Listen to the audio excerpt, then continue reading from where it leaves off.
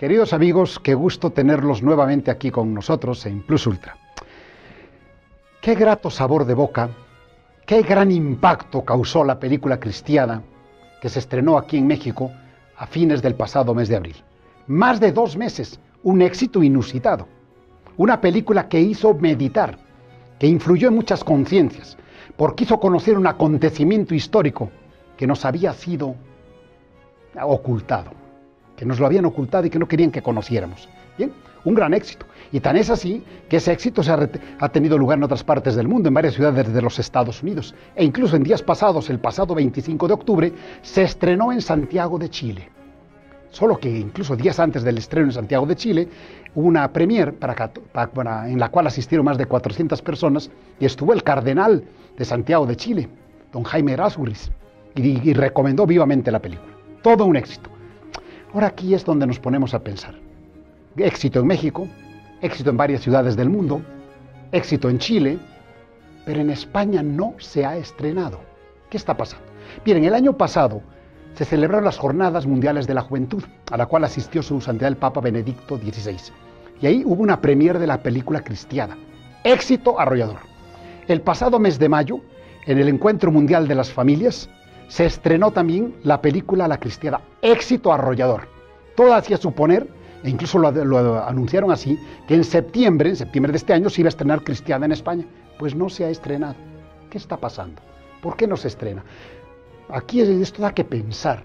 Hay quien dice que son motivos económicos, que ni a ningún distribuidor le interesa entrar en contacto con el productor de la película porque no le resulta económico. Claro, a lo mejor si fuera una, un, una, película pornográfica, una película de esas guarrerías que tanto asquean, ¿verdad? Pero que dejan buen billete, a lo mejor le pudiera interesar.